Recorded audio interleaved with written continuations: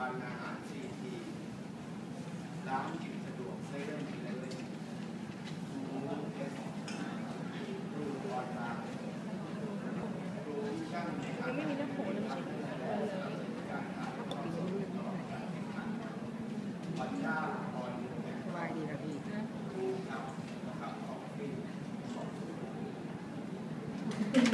ง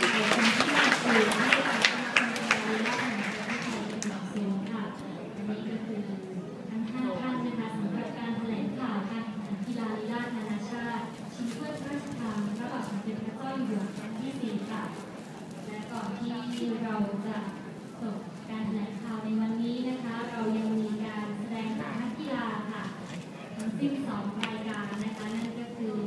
แสดงนักกีฬาลีลาในโครงการประชาสัมพันธ์การแข่งขันกีาลีลาเอเอค่ะ